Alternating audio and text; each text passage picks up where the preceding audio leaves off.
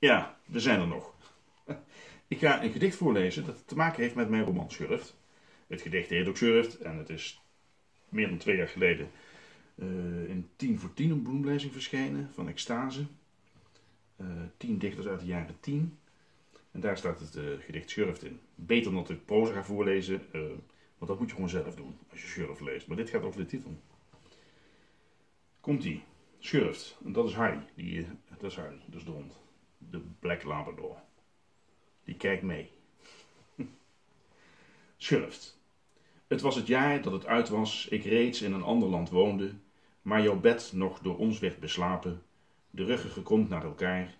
Het huis sprak van ongemak, ongeboren kinderstemmen, één was een tweeling, en voedsel over de datum.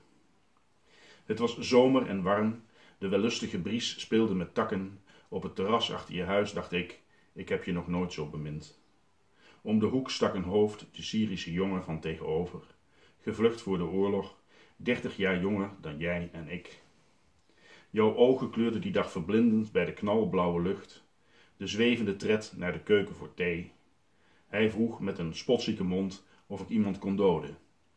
Ik zag mijn antwoord in het schot uit zijn ogen. Later zou hij zeggen dat ik toch niet zo aardig was. Ik dacht aan de avond dat je mij bij aankomst uit Londen direct meevoerde naar het huis van de film over ontheemde. Op het doek glom de kleine stad als een metropool in de regen. Wij zaten dicht bij tegen elkaar, de jongen op de achterste rij. Na afloop verdrongen rijpere vrouwen zich kwijlend om de ontheemde, als waren het honden uit het asiel. Jij onterfde de stoel van mijn moeder door hem die te geven en schreef me berichten over de kip die hij voor jou had gekookt. In het tehuis van je moeder sprak hij met een eenzame vrouw Arabische woorden. Na maanden, wij waren weer samen, was ik weer even terug in de stad.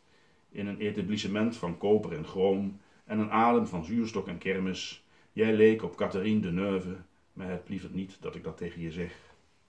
Jij zei toen het waren er vier en dat ik ze niet kende. Pas later, ik stond buiten een Brussel station, krakend van koude, noemde je telefonisch de namen.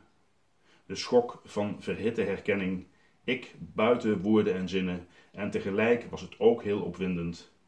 Mijn vriendin met zo'n jonge jongen. Nog maanden droeg ik de schurft als een trofee. Allemaal fictie natuurlijk. Bye.